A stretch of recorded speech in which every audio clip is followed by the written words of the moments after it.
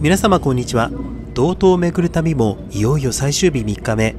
今日は根室駅から始発の列車に乗って釧路そして越百景デクモに乗って新徳へとやってまいりました。これから代行バスに乗って新徳から東シカゴへそして富良野へと参ります。どうぞよろしくお願いいたします。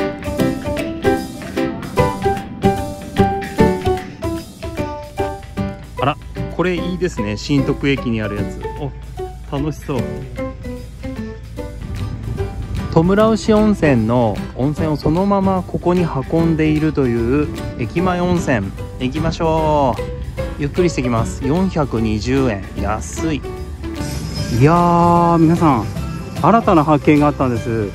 実はですねここ入浴料420円なんですけど30円足して450円にするとですねサウナ室っていう別室に入れるんですよ。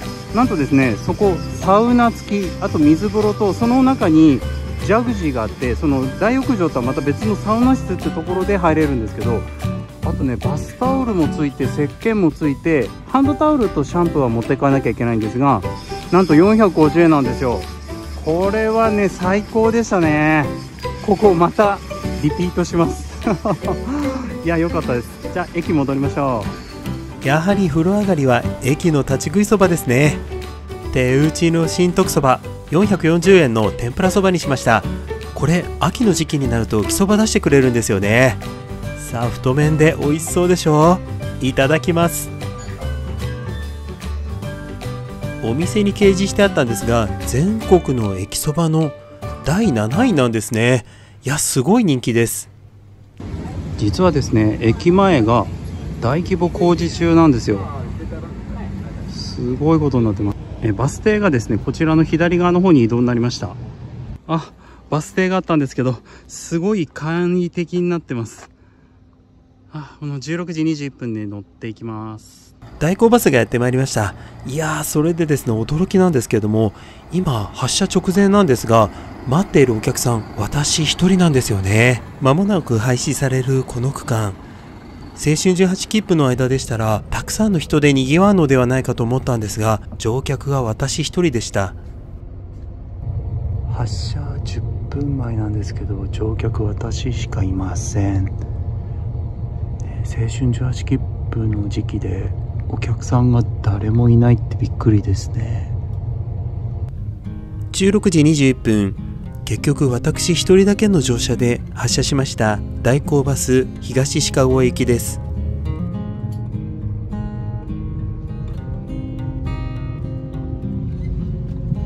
はい東シカゴ行った1個バスをします。安全のためにシートベルトを着用お願いします。発車してすぐは左手に旧刈勝線の鉄道を見ながら進んでいきます。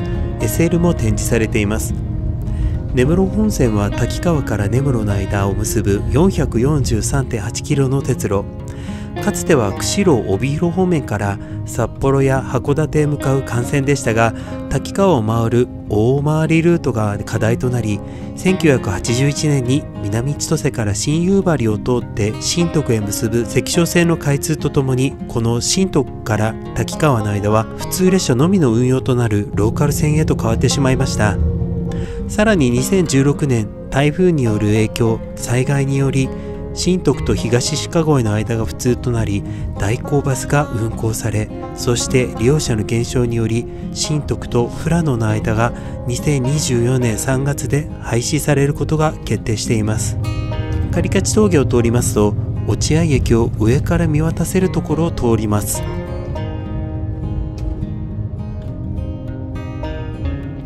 JR 北海道での代行バスでの運用は必ず駅を通ります。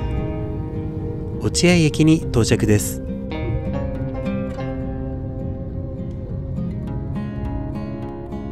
7年間列車が一度も通らないレールのところには草木が覆われていました。落合駅を発車です。小さな集落がありますが町は静まり返っていてどなたの乗り降りもありませんでした。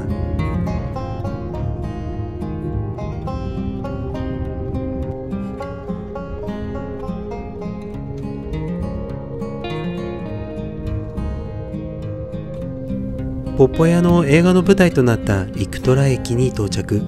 この映画のセット残るんですかね。